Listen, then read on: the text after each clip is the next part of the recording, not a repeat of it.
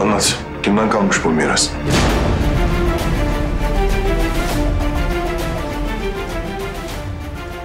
Maalesef bu bilgi özel. Anlatacağım derken kendisine anlatacağım demek istedim. Bu bilgi sadece miras sahibine. Nana Meryem'e açıklanabilir. Nana Meryem benim.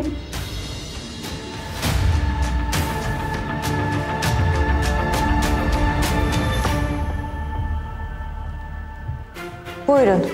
Sizinle odamda konuşalım.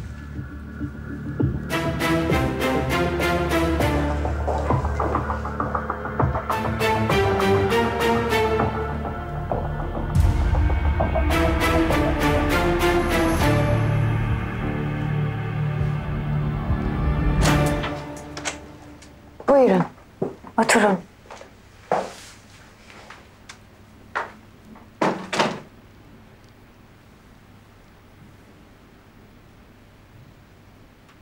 Nedir konu?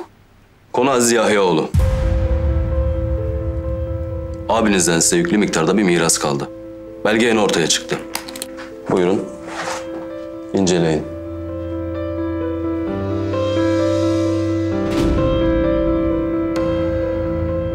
Bana mı bırakmış? Ama nasıl olur? Bana bir milyon dolarımı verecek, istediğini alacaksın. O kadar para yok bende. Param var, haberin yok. Aziz abinden kalan miras zengin edecek seni. Ne mirası? Onu da öğreneceksin. Sende de hiç sabır yok ha. Kendi kazancıyla yaptığı yatırımlarından gelen milyon dolarlardan bahsediyoruz.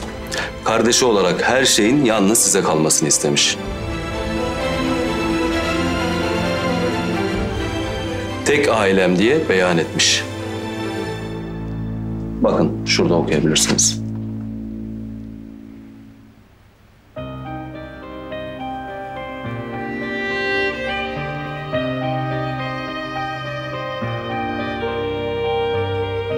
O da benim tek ailemdi.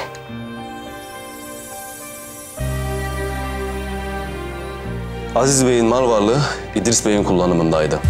Çoğu kaybedilmiş maalesef. Bu ise yurt dışı yatırımdan gelen bir meblağ. Madencilik yatırımı karşılığını bulmuş.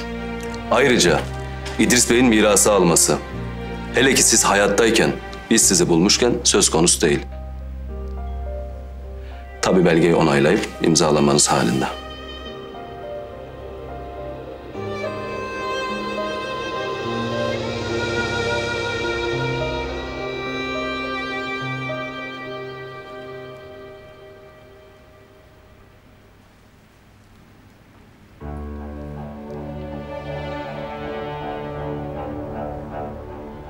Bu da güvenlik şirketinden gelen fatura Yaman Bey.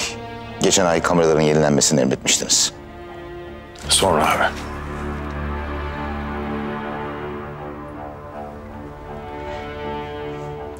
Gelen avukata takıldı aklınız herhalde.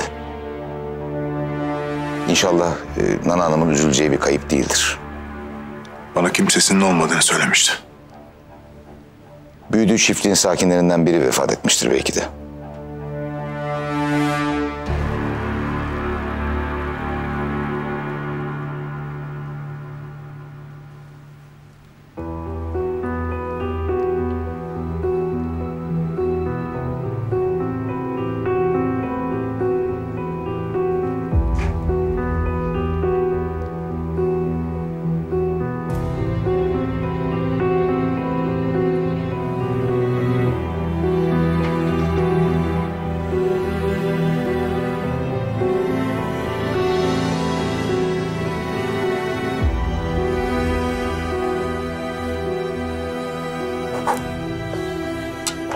Ayrıca bu mirastan çok daha önceden haberiniz olması gerekiyordu.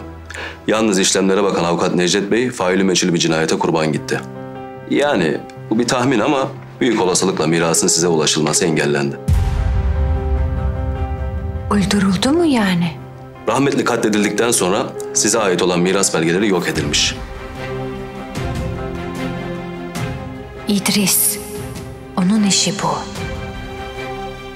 Neyse ki yedek müstahaları vardı. Bu sayede buldum sizi. Bu sizin en başından beri geciken hakkınızdı. Haddim değil ama bilgilerinizi gözden geçirirken gördüm. Babanız anneniz hamileyken boşanmış. Sizi nüfusuna almamış. Çok önceden bu davayı açmış olsaydınız Miras hakkınıza DNA yoluyla ulaşırdınız. Bana kızım demeyin babanın hiçbir şeyini istemedim. Banka işlemleri yarın yapılacak. Paranın hesaba geçmesini sağlayacağım. Merak etmeyin. Bir aksilik çıkacağını sanmıyorum. Merak etmiyorum. Hatta umurumda değil bu para. Keşke abim yaşasaydı. Mirasım hiç olmasaydı. Zaten ben o parayı